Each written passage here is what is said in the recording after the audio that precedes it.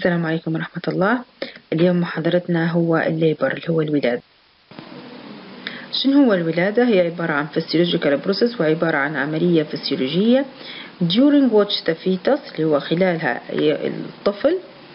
membranes وال umbilical ال cord والمشيمة والحبل السري كلهن expulsed from the uterus إنه هو يطلع من خلال الرحم. هذا اسمه شنو علامات الولادة؟ أول حاجة contraction or tightening ويكون آه، منتظم اللي هو الألم الولادة ويكون منتظم في ساعات معينة وفي, وفي آه، فترات متقطعة.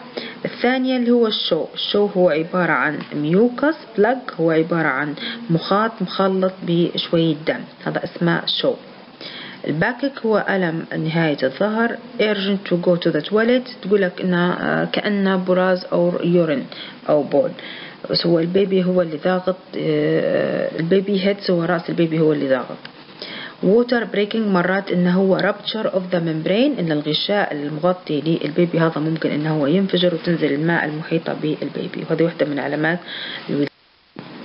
شنو هن stages of the labor أو مراحل الولادة؟ آه، في عندنا ثلاثة مراحل للولادة. أول stage اللي هو من يفتح الرحم إلى أربع سنتي ويكون عندك الألم منتظم. هذا اسمه first stage labor They will also listen and monitor your baby heartbeat. لازم معنا نسمع نبض الجنين. Check how often you are having contraction. تقول لك كل كم مرة تجيك الألم هذاهي وكم يقعد وكم بين بين الألم والألم كم كم آه كم يقعد. Measure your pulse every hour. نجم نحسب نبض القلب كل ساعة. Measure your temperature and blood pressure كل أربع ساعات اللي هو الحرارة وضغط الدم كل أربع ساعات. Check how, check how often you empty your bladder. إن هو لازم ما أنا تفرغ اليورين اللي هو البول عشان ما يضغطش على راس البيبي وتأخر الولادات. If you are having your first baby, this stage will probably last about 8 إلى 18 ساعة. إذا كان هذا أول baby فممكن أو تقعد المرحلة هذه من 8 إلى 18 ساعة. If you have had baby before إذا كان عندها baby من قبل فممكن تقعد من 5 إلى 12 12 ساعة. ال second stage اللي هو المرحلة الثانية تبدأ من أم لما يبدأ عنق الرحم يفتح على الأخير اللي هو fully open dilated and the muscle of the womb are tightening and loosening to push the baby down and out تبدأ الأم إن هو push تدفع البيبي إلى خارج الرحم Every labor is different, but on average, once you start actively pushing, you are probably deliver within ثلاث ساعات. يعني second stage مش أكثر من ثلاث ساعات. إذا كان هذا أول baby and within two if you have a baby before خلال ساعتين إذا كان عندها baby من قبل The third stage of the labor had your baby put need to deliver the placenta.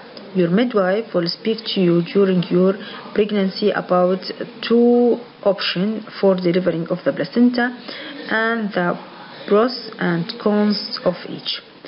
طبعا المرحلة الثالثة اللي هو ولادة البلاسنتا وتكون خلال نص ساعة delay during the first stage إذا كان تأخر المرحلة الأولى من الولادة هذه تأخرت The first stage of the labor is slow. Your midwife or doctor may suggest breaking your water, also known artificial rupture of the membrane if they have broken already. إذا كان المرحلة الأولى من الولادة تأخرت فأنا شنو ندير؟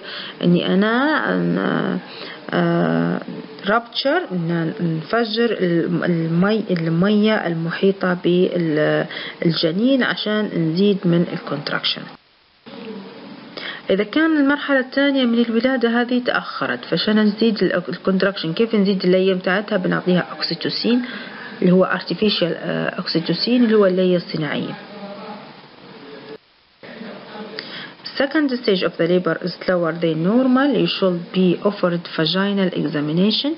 You may also have with your uh, agreement your water broken if they have already. إذا كان ال second stage نفس الشيء تأخرت فأنا ندير vaginal examination ندير كشف لل vagina نشوف إذا كان عندها مرات يكون ال membrane not rupture والمية ما زالت قاعدة فلذلك تأخر ال second an oxytocin drip to help your labor progressive وندير شنو أن ندير تغذية فيها الأكسيتوسين هو اللي صناعية عشان تزيد من نسبة الكونتراكشن the second stage of the labor goes on for longer than expected, you may be offered an assisted birth If vaginal birth is not possible. You will be go to the cesarean section. إذا كانت السكند ستيج هذه go slowly. يعني تمت تمشي بس بشوية ببطء بكت. يا أما نستخدم الولادة مساعدة يستخدم فاكيوم ولا يستخدم فورسبس ومرات إننا تمشي إلى عملية قيصرية. Thank you.